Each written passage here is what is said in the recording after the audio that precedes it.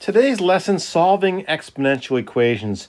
Through a lot of this log unit, it might seem like uh, this really isn't going anywhere significant, but this lesson brings it all together. By far the most important lesson of the chapter. And I don't mean by that that it's the hardest lesson because uh, it, it really probably isn't. But it takes some of what we've learned this chapter and really applies it to situations that are really, really going to matter moving forward. So, solving exponential equations. Now, you already know how to solve some simple exponential equation. So I first want to review all the exponential equations you could solve before you came into this class. For instance, 3 to the power x equals 81. And the reason you can solve this one is because 81 is a very nice number. It's a power of 3. It can be expressed as a power of 3. And so whenever you solve an exponential equation, now hang on. What do we mean by exponential equation exactly? An exponential equation means that the unknown's up in the exponent. Yes? When we run into a situation where we have the variables up in the exponent, that's when we mean we're talking about exponential equations. Okay, so this exponential equation can be solved pretty easily because 81 is a power of 3. You can sit there for a minute and you can either try it in your head or use your calculator, trial and error, and go, okay, well, 3 to the power 2 is 9, 3 to the power 3 is 27, 3 to the power of 4 is 81. Oh, isn't that nice? It works out to a nice power of 3, and so I can express 81 as 3 to the power of 4. Now, uh, the next step is to look at that and go, well, the bases are the same, so to make these equations equal, all I need is the exponents to be the same, and we just drop the 3 to the power ofs on each side, and you get the answer x equals 4. Uh, here's another one that might look like it's trouble at first, but really the big first step of even uh, tougher examples is to isolate the ex exponential part. We, here we've got 10 times 3 of the x, so we isolate that 3 of the x by dividing by 10, and I get a 243. And then this one does become actually something we can do uh, just by trial and error or using our calculator and going, okay, well, 3 to the power 2 is 9, 3 to the power 3 is 27, 3 to the power 4 is 81. Oh, 3 to the power 5 is 243. And I, don't expect you should do those in your head necessarily, but a couple of clicks in your calculator and you'll go, okay, I know which one, one it is. So x equals 5. Now, at that moment, it might finally occur to you that, well, this only works if these numbers are very, very nice. And you're right, in grade 11, this only worked because the numbers were all rigged up to be nice. So the blaring question is, what do we do if the numbers aren't nice? And the answer is we use logs. And I'm going to show you how to use logs later in this lesson. But again, I'm just reviewing the ones that you've seen before. Um, so it's all about getting the same base. Um, you could do slightly more complicated examples as long as they could be put in the same base.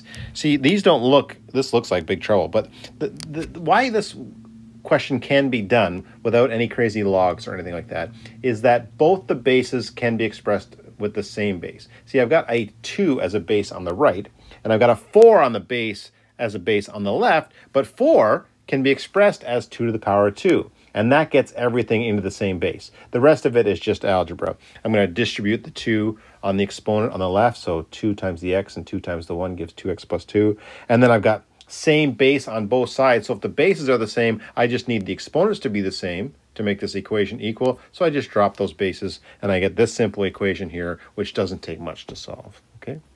So that expands. A and B were could we express the right side with the same base? And now part C says, well, as long as we can express both sides with the same base is really the the the bigger idea here. So that's what we're looking for is can we express both sides with the same base? So moving on to part D, can we express both sides of the same base in this question? And the answer is yes. Uh, both of these could be expressed with base 3. So the 9 becomes 3 squared, the 27 becomes 3 cubed. Um, distribute those exponents. So 2 times 3x is 6x, 2 times 1 is 2. And on the right side, 3 times x is 3x. And now we've got same base on both sides. And we have same base on both sides. We can just drop that base. That confuses people a little bit sometimes, but all we're saying is, listen, if the bases are the same, we've got that part equal, all we got to do is make the exponents the same now, and then a couple of steps later, and you've got that solved for the x value that makes this work. And again, these questions are all working because both sides can be expressed in the same base. If they can't be expressed with the same base easily, then we need a new method, and I'm going to show that to you in a minute. Before we get to that, though, this killer example, this one is, it's sort of a rare example. You don't see a lot of these. Um, but I do want to bring it up as, as maybe the toughest uh, same base type example. They do include these in the grade 11 uh, homework, but um, you just don't see a lot of these. And so it's very awkward to look at this because it doesn't, it's not clear what has to happen, but there's a, what it is, is there's a common factor here. And until you see it once, how can you possibly notice there's a common factor here? And the common factor here is 3 to the power of x. The first term on the left has a 3 to the x in it, and the second term on the left has 3 to the x in it. And you may not even buy that the first time you see it, but take a look if I distribute, after I take out that 3 to the power of x, if you were to distribute here, what would happen? Well, you'd multiply 3 to the x times 3 to the power 2, you'd add the exponents, and you'd get what is on the previous line there, 3 to the x plus 2. And if you multiply 3 to the x times negative 1, you get negative 3 to the x. So that's the only way really to see that 3 to the x is in there, is to once see it factored out like that, and then maybe, maybe moving forward, you'll see that common factor in there. The rest is pretty nice. Like what happens in the brackets is 3 squared is 9, minus 1 is 8. Divide by the 8, and look how nice this is. It comes out to a base 3 number. This 27 can be expressed as in base 3, 3 to the power 3. And same as before, when the bases are the same, you can just drop the bases, and uh, I just need x equal to 3. Very tough, very awkward example. Sort of the big, um, tough one of the grade 11 exponential course. Okay, so that's a complete review on solving exponential equations from grade 11 when you could express them both as the same base. So here's the inconvenient example. This is the example that it's in the grade 11 homework, but all you do is you trial and error it and come up with a decimal answer and find out that this is really inconvenient.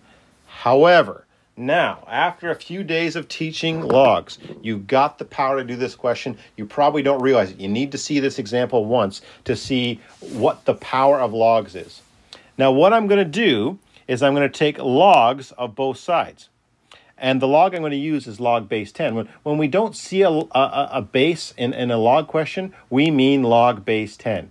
And the nice thing about log base 10 is it's on every calculator. Some new, newer calculators have other log buttons, but every, cal every scientific calculator has a regular log button. And when you just see log, L-O-G, by itself with no number with it, that means log base 10. So that's the reason I'm going to use log base 10 in this question, is because it's going to be on everybody's calculator.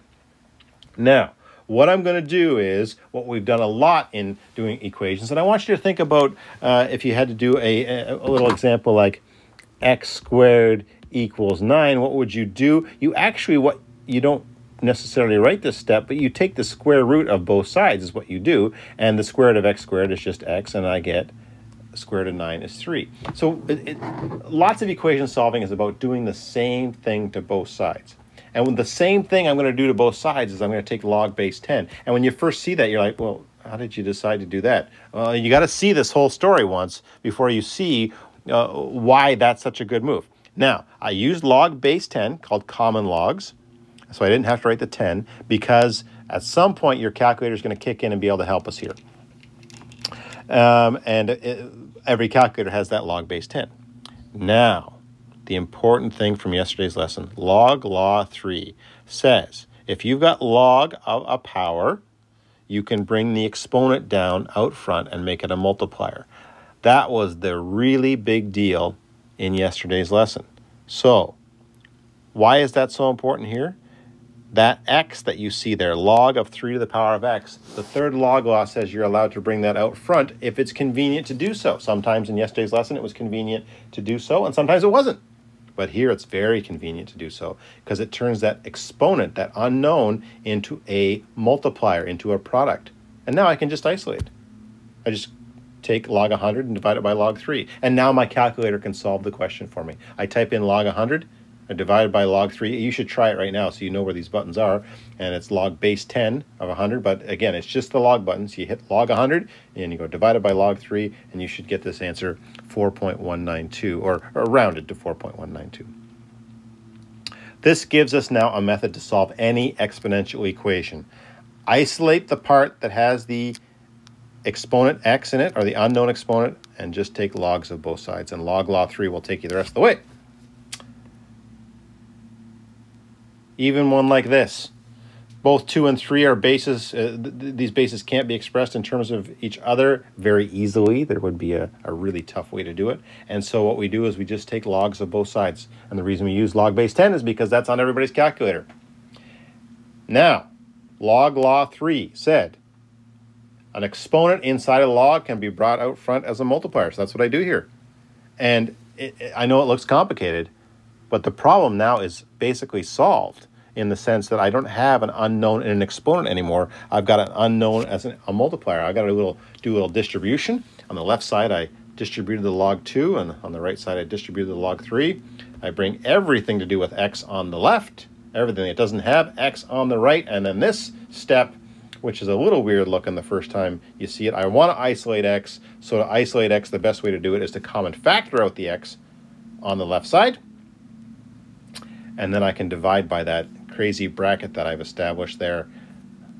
And I get this, which is a little tough to type in your calculator. If you've got a fraction button on your calculator that uh, shows the display top and bottom, then you should do that so you can see, you can make a fraction and go negative log 3 minus log 2 on the top and log 2 minus log 3 on the bottom. You can do that.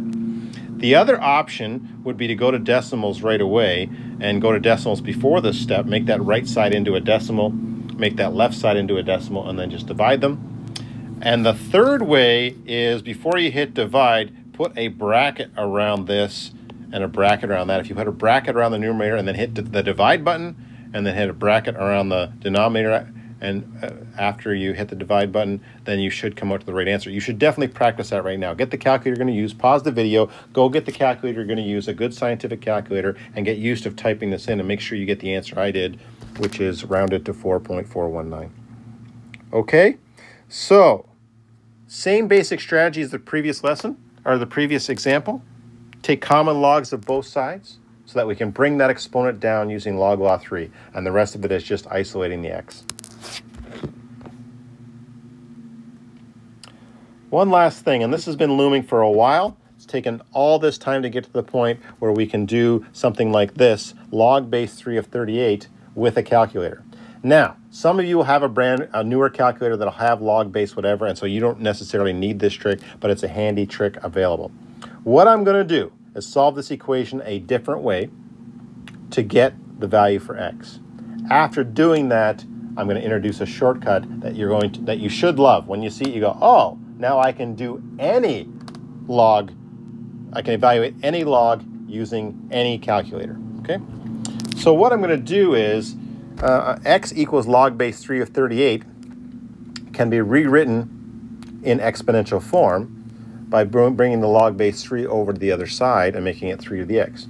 If that's weird to you, just let me say the sentence of what the first uh, equation says. It says x is equal to the exponent you put on 3 to get 38. And that's all I'm writing here is I'm saying, okay, x is the exponent you put on 3 to get 38. So I just rewrote exponential form. The other way to think about it is the inverse of log base 3 is 3 to the power of. So when I bring log base 3 from the right side of this equation to the left side, I get 3 to the x. Now that might seem like a bad move because uh, now I've got a complicated situation. But now this new move that I've introduced in this lesson comes to bear as I can take common logs of both sides, allowing me to use log law 3 to bring the x down and isolate x by dividing by log 3. Now you can type that in your calculator right now, but take a look at this line and this line, and this happens every time when you're doing logs. If you've got log base 3 of 38, you could go through all these steps, or you could just memorize the idea that if you want to do log base 3 of 38, you can just do log 38 divided by log 3, and that'll give you the answer in your calculator. A convenient, very quick shortcut, worth, worth memorizing definitely take a moment and type that in your calculator to get make sure you get the same thing as me. So to summarize what we've got here, this shortcut, anytime you want to do log base a of x, any base a, any number x, you can just do common log of x divided by common log of a, and any calculator is going to be able to do that. To really show off what I mean by that is, if you want to do log base 3 of 7, you just type in log 7 divided by log 3, and it'll give you the answer.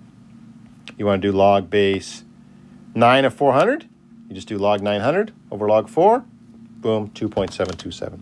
Okay, so that is such a nice shortcut. Boy, that has to be committed to memory, or at least written on a study sheet so that you've got it available to you when you need it. Okay, great lesson, great homework um, for this section here. I encourage you to go through that stuff. Um, a little last little note is that we could have used a base other than 10 there was no reason that we had to use base 10 here but base 10 is just convenient because it's on our calculator. But if you're moving on to this in higher levels of calculus you'll find out that using whatever base we want will be fine. Um, and there might be a more convenient base for a particular question. But for now log base 10 is, is, is the best choice. Okay, check out that homework. It's it's uh, really the culmination of this chapter of showing uh, the power of, of all this log stuff. So uh, don't take it very seriously. Don't just look at them and go, oh, I know how to do it. Really get through every question. Have a great day.